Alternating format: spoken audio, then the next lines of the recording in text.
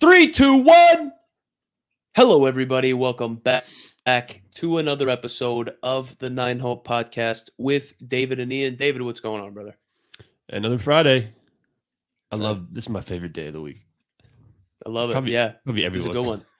This is a good one. Yeah, Fridays are good, dude. Well, you, Back when I was uh, playing, well, back ahead. when we were playing, probably like it didn't matter. It's like now, but we're in the real world. Fridays, like, oh shit, I got the days get blended together when you're playing Yeah. baseball, bro. So like every day's kind of a Friday. Now, uh, yeah, Fridays are huge, bro. Fridays are huge. So I hit the range today already, a little bit, and as I texted it to you, I had it. I bought a big bucket of balls for thirteen bucks, and I had it for the first twenty percent, bro. First twenty percent, I had it. I was just stroking nice. You know what I mean? Like we trying whatever. to change something. What what what happened? I started just thinking, I, I think, bro. And I, I started getting, dude, I, I like progressed. So I went from the 56 to the A to the P it's good. to the nine. I got to the nine and I started, ooh, ooh, we, we lost it. Then I went to the seven, hit a couple good. He go, See, I skip all of them.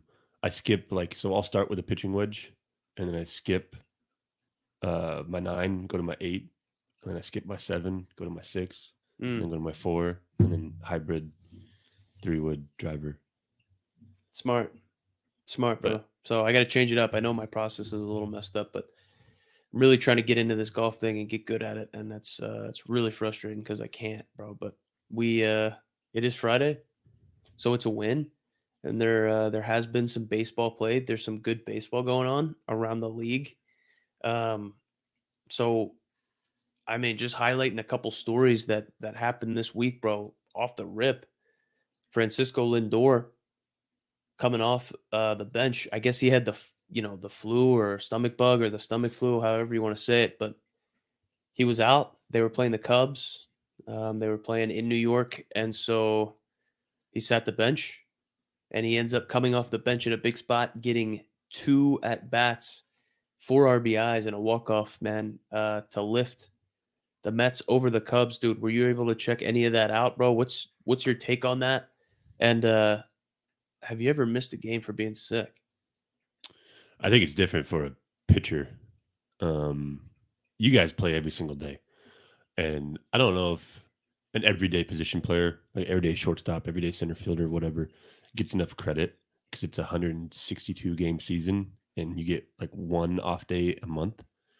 But you got to think like that's so much on your body, and whatever you want to say. But as a pitcher, like I was pitching every five days, every three days, like so. No, I never did, but I wasn't in there every day. Yeah. Dude, Um, and Lindor, honestly, is my has been is my favorite player in Major League Baseball. really? Yeah, Really? I love him. I love the way he carries himself, huh? Yeah, he just plays well. He's always happy. I think he seems like a good clubhouse guy, Puerto Rican dude. Um, there was like some New Balance when he signed with them. He went to like Japan and was trying this weird food and stuff over there. And I don't know. He just seems like a good dude. Yeah.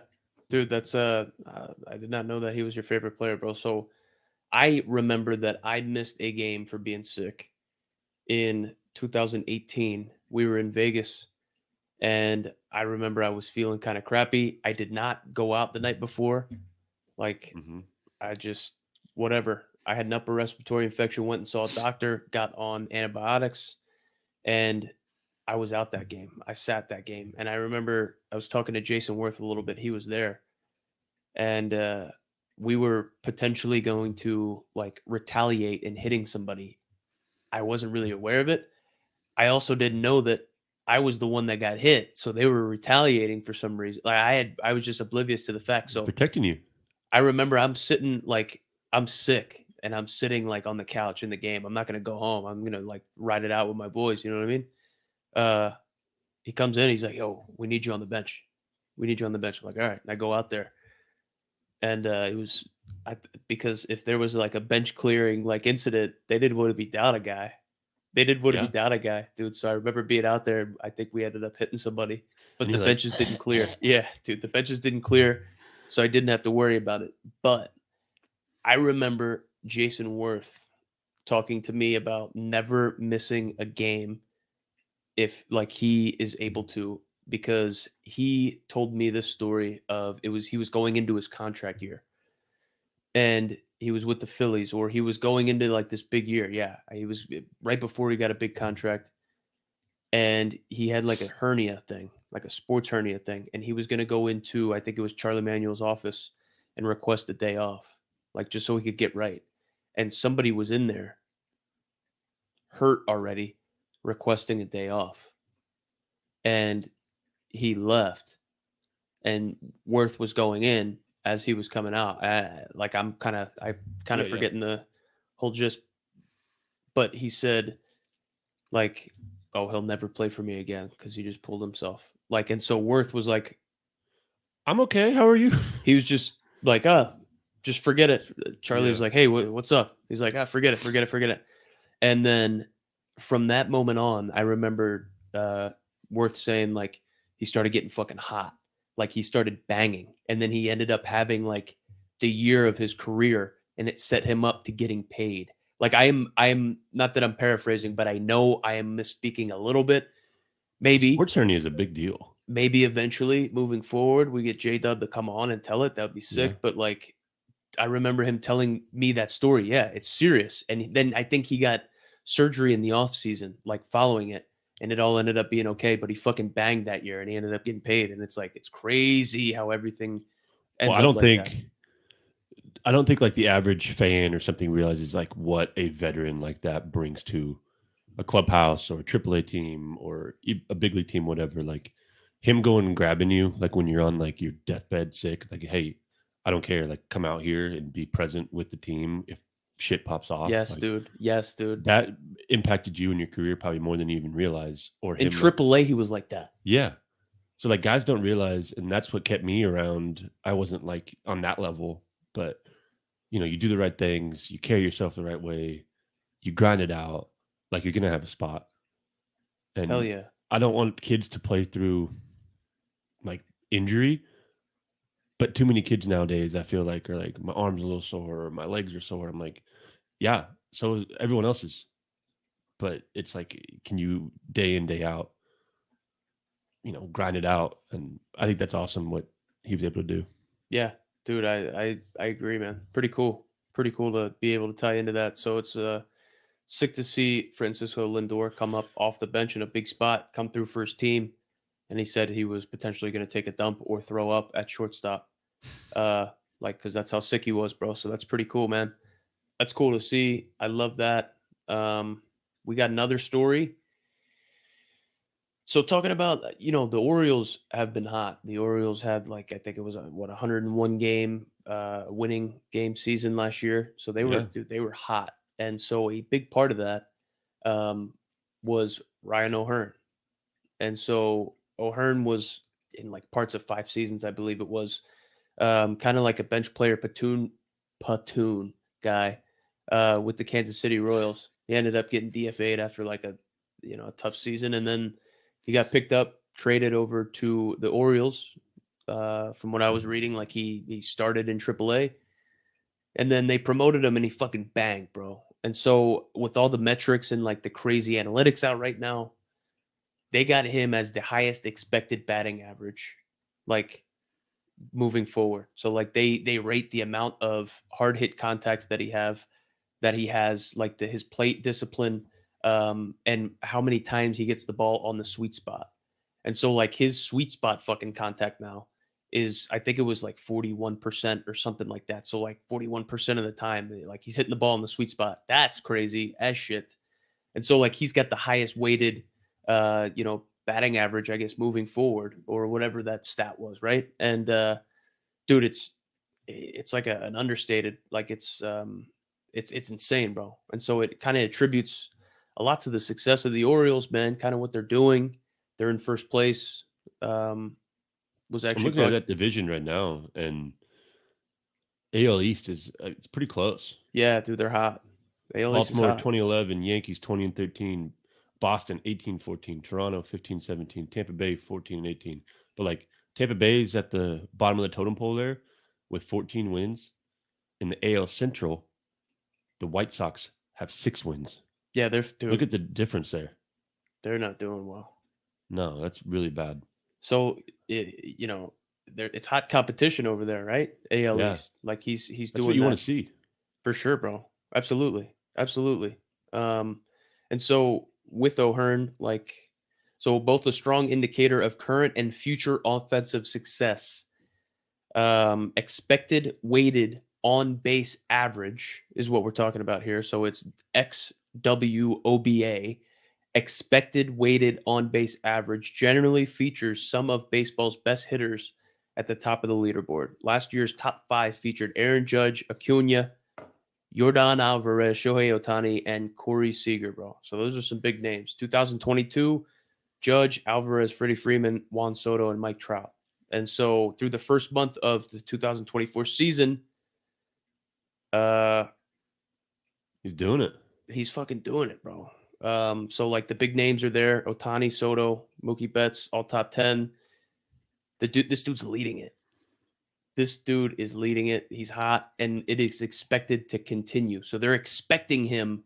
Like he supposedly with this stat, it's saying that he's one of the more unlucky players in the league with the shit he's already done.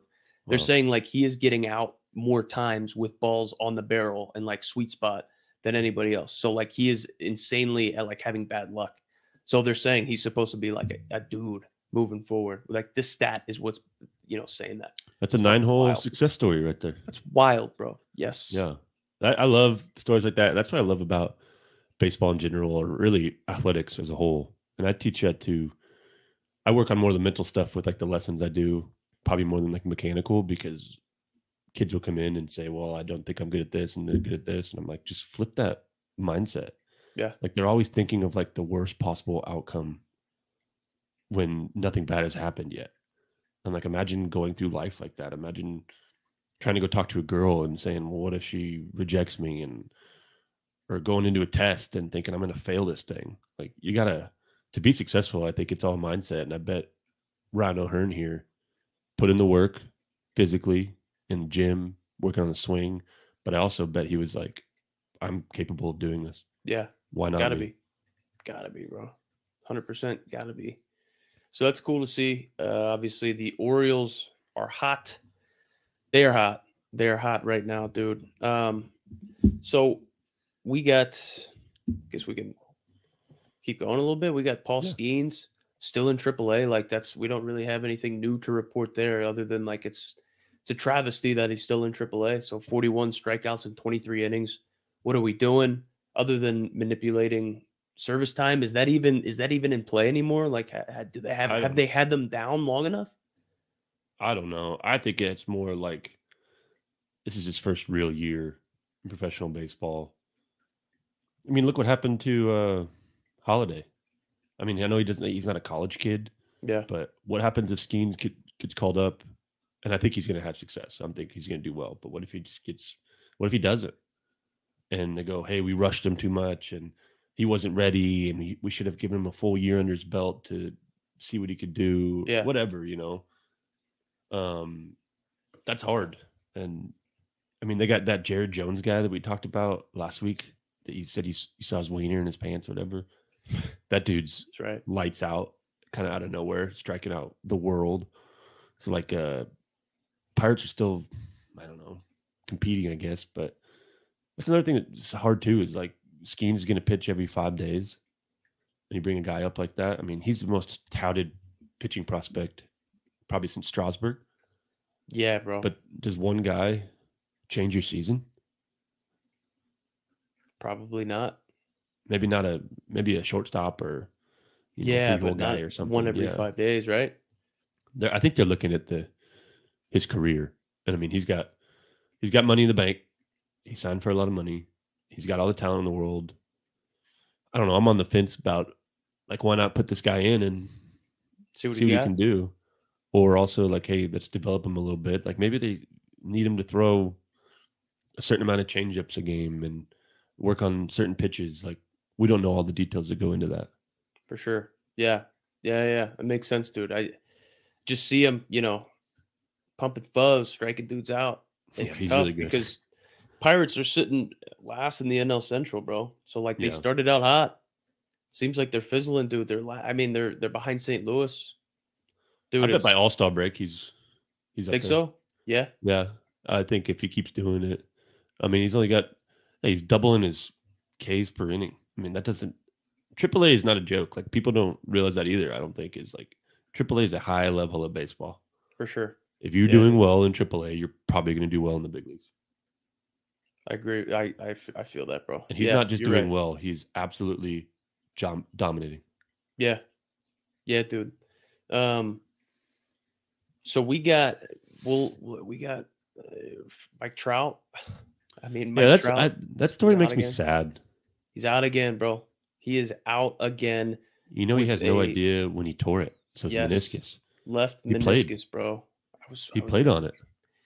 which is crazy, right? He says like he he was just feeling it, sort of like like tighten up a little bit when he would sit down, and then he would get up off the bench, and it is you know getting tight, getting sore.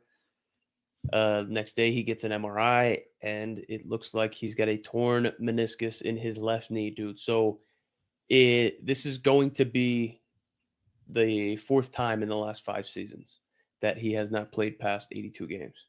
It's really hampering his stock. I mean, Everything, dude. Hall of Fame, unanimous Hall of Fame decision. You know, like all of it. And he works hard. I think he's a good dude. I think he's close to, if not the best player that, that in the past 15 years. You know, Ohtani now is coming up a little bit, but and at his age, like coming, this is from my orthopedic days, but you can repair a meniscus or you can just shave it out. And I don't know with him being like he's 30 years old, right? Dude, no, he's going to be 33. 33. He's going to be 33 in August. And so, dude, the, the Angels have six more years of him on contract, bro. So it's like, okay, this guy's made of glass.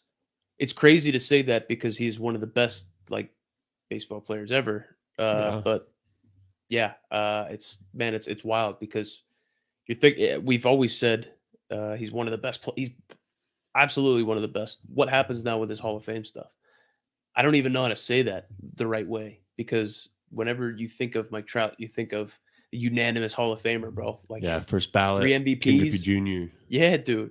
And then uh, now it's like, bro, I, man, All-Star or something. I haven't seen Mike Trout play in a while. I feel like he was, dude. He was leading uh, He was playing MLB, well. ten home runs. Yeah, Yeah. ten home runs, bro. He was hitting the ball well. Um, still defensively amazing. But you think the Angels kind of he comes back from this, maybe he's DHing a lot more. You know, like they got to protect that investment and. But you look at like Ken Griffey Jr.'s career too. He was not always healthy. Yeah, He was in, he was injured quite a bit. Um, so I don't know how much this hampers him, but it's sad to see. I like him a lot. I'm a big fan of his.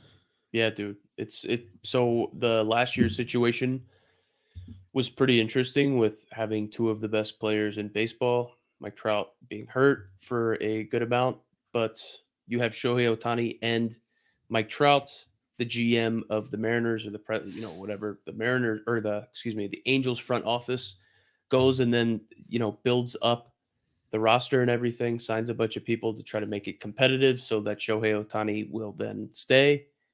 They end up like dumping all of that, uh, losing out on that cash, and now it's like you lost out on Shohei Ohtani.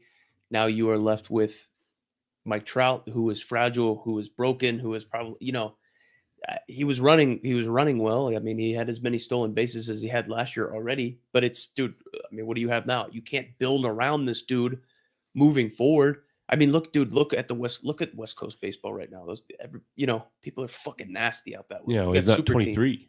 23. Yeah, you got super teams, dude. I don't even know what this means for his like trade stock.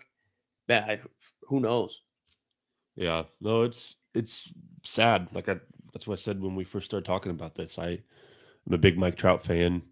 I think what he's done for the game, um, has almost been Ken Griffey Jr. like, like got kids back involved in it. Yeah. He had his own shoes.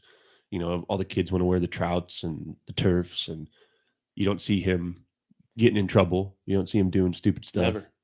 Um, I, I think he's got like a contract with Body Armor, but other than that, like, I don't see him on commercials. I don't see him need to be in the limelight. He values being a father. He values being a husband, a teammate. I think he does all the little things right, and I guarantee you he works hard. Yeah, But his body's just, you know, deteriorating a little bit. It's not easy playing 162 games. I stated that earlier. It's not easy, and you're seeing that now. For sure, for sure, dude. For sure, it's gonna be uh crazy. You know, I we'll we'll, we'll keep the eyes peeled on how the Angels move forward with this situation. But you know, wishing the best to Mike Trout. I like Mike Trout as well. I agree with everything you're saying, dude. Uh, Stephen A. Smith was giving Mike Trout a little bit of backlash, dude. If uh, you, what was Stephen A. Smith saying, dude? And then I heard Jonathan Papelbon was coming out and calling Stephen A. a racist. I was not able to watch those videos or catch up on that stuff too much, man. I just I heard that there was a lot of backlash on Stephen A for some of the shit that he said, and I don't know. Well, Stephen A has always been controversial, always spoke his mind, you know, but he quoted and stated that he did not understand why a player like Mike Trout gets hurt so much in a non-contact sport. And I think that mm. to me just solidifies how little he knows about baseball.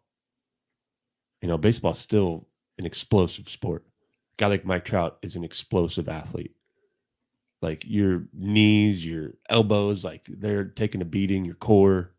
Um, so yeah, he he said that, and Papelbon, who is still probably insane, you know, jumped in and just it was kind of Papelbon esque, and just tossed out the racist word, which is maybe a, a little harsh there. He went it went from zero to hundred.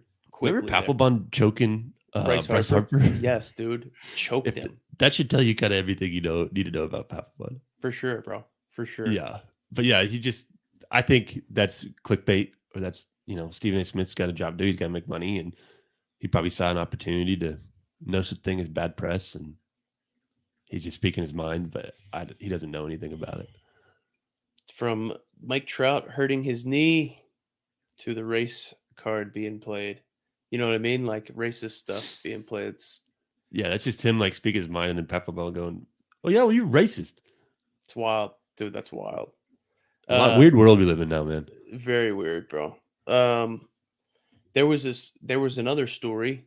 So Buchanan High School and uh, Troy Glaus. So Troy Glaus was obviously, uh, you know, an, an MLB stud. Um, uh, yeah. took over took over as the head coach of a best. program. Dude, can you can you uh, elaborate a little on the story? Yeah, so what I've read about it, I didn't get to listen to all of Burnsy's kind of rant, but his rant was for good reason.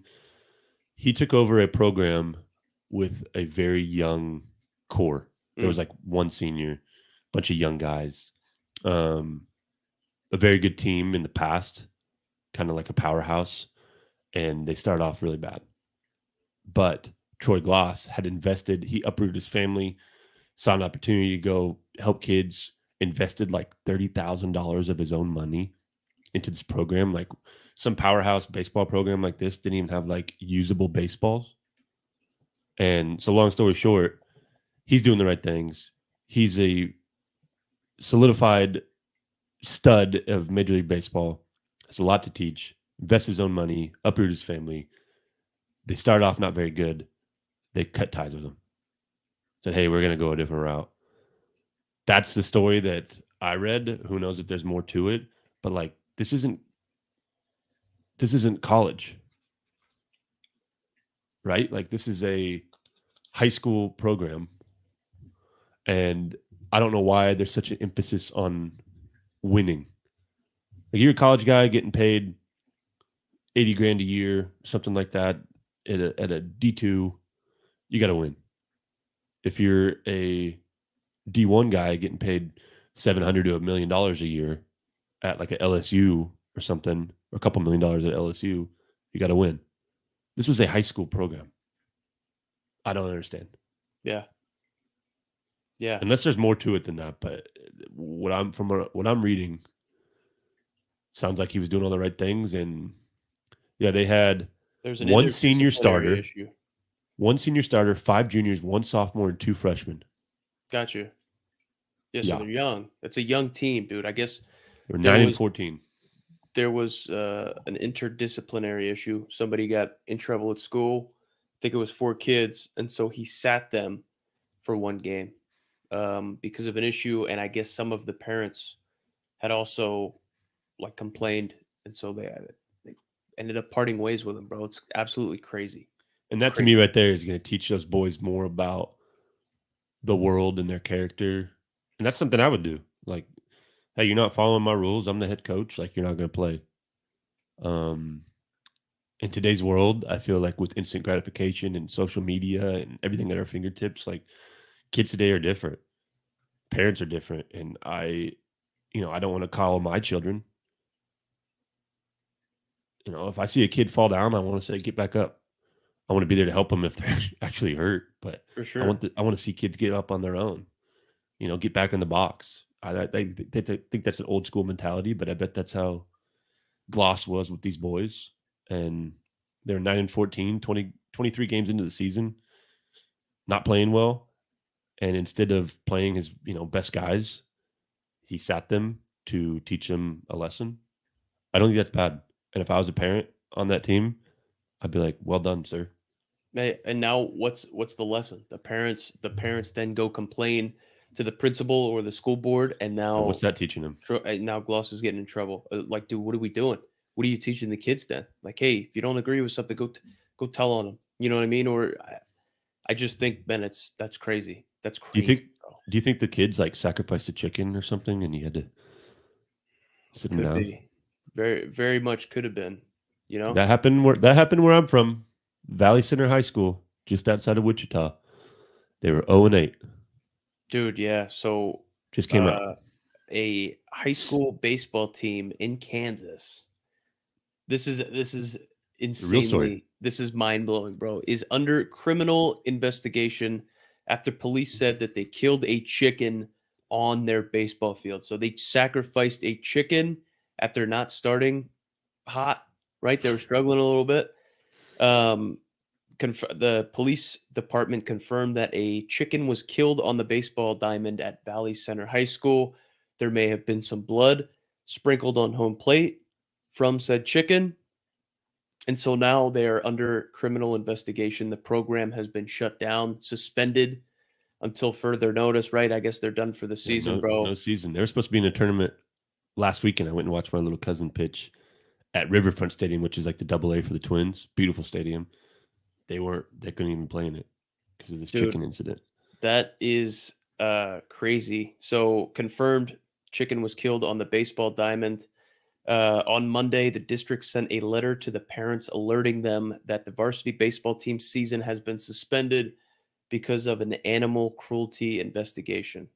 Um, police are investigating the alleged crime as animal cruelty with malicious torture or killing, which is a felony in Kansas, bro. Fuck. That's not good. you know for sure that like probably like 15 of these kids were all about it and then like one kid walked home that night got home with like just a white face of like horror and his mom's what like just happened? What did I yeah little, billy what happened man he's like i don't even know where to begin and that one kid i mean it's i don't even know how to say this but it's it's horrible like for for context like the movie major league Jobu talks about sacrificing a chicken, and it's this weird, it's this weird kind of like folklore around it. Like it's been, you always hear that, like, oh, you're in a slump, we got to sacrifice a chicken. Yeah. You know, you got to, whatever. It's a, it's a thing, but not people don't actually do it. Well, these, these guys did it. They Yeah, beat the kids- shit out of a chicken. Yeah, So in Valley uh, Center is like kind of like a smaller town, uh, podunk kind of country boys. So chickens would probably be out that way. Yeah, so it's like one of these one of these kids probably had chickens on their farm and just grabbed one that probably pissed them off, and Oh no. yeah, Beat the shit out of it. So I guess they beat it with a bunch of baseball bats and then took the took the head off or something like that. yeah. Whatever. So that's that's tough. And you know what's Yeah. even harder for these boys, and I'm not trying to make light of this, but they don't even get to find out if it worked.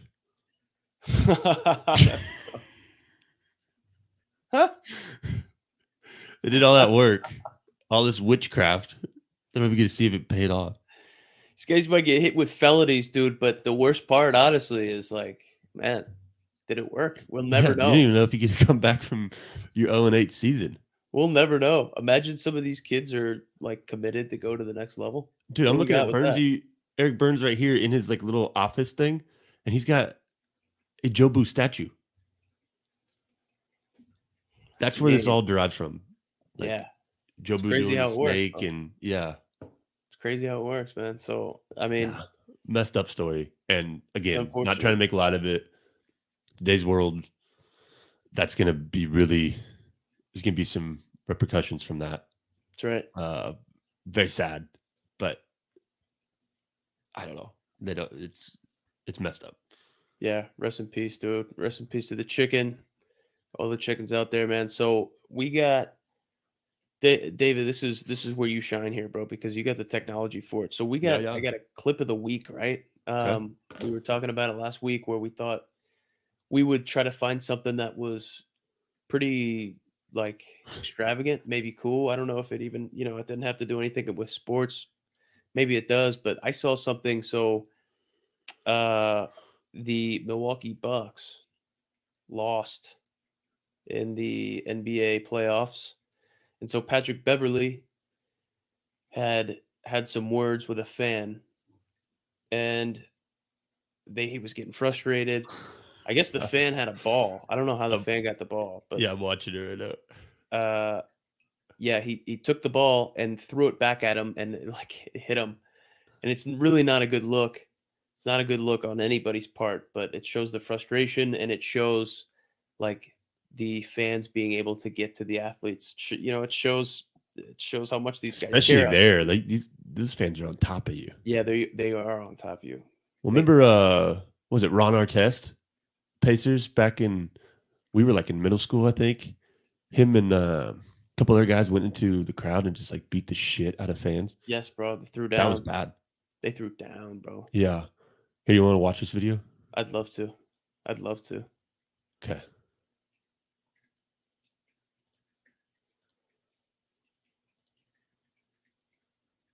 so he's got the ball he's got the ball he's about to throw Yep, it He passes it.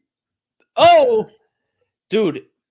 And so obviously, like Beverley's the bad guy here.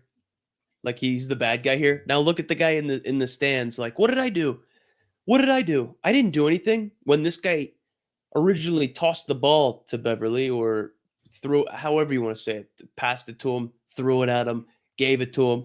What is a fan doing with a basketball? And then why is he, you know, throwing it towards Pat Bev? The only thing I can think of is like in a play, the ball just bounced into the crowd. They call it timeout or something. The guy's holding on to the ball. He's like, "What do I do with this?" He see makes eye contact with Patrick Patrick Beverley, and he goes, "Hey man, here, here's your ball back." I don't know. It's tough, then dude. It's tough right there. He's bro. pissed off and throws it at him, and you you could see him looking around for his lawyer. Yeah. And one dude in the in the cutoff NBA jersey with no shirt underneath, it's like trying to fight him. I don't know Yes, bro. I saw that. That's a tough look too, man. With the uh the, the full the full uni. I love that, bro. So that was my that was my clip of the week, man. It's bad. That guy's That's gonna get a lot of big fine probably coming his way and some settlement to that fan. And who knows? That guy's guarantee. And uh, we live in a weird world, man. But even if that guy's 100 percent okay, he's gonna say my thumb, my thumb is hurt. And it wasn't. That was a Pacers fan, Oh, so it's the opposite. yeah, it's not good. Yeah, It's not good. Who knows? I- that jammed my thumb. Um, the only thing I had to really contribute, you did a good job putting some stuff together, was the unfortunate chicken situation. That's tough. Yeah. The the chicken story was probably the most exciting one of the day. I I loved it, bro. I loved it. We'll have to I'll, I'll try to dig a little bit more into the chicken story so they're they're going to find out if they're convicted of the felony or not, but I mean, it's think about the whole process of what they had to do to get to this point. I mean, we'll see. We'll see, dude.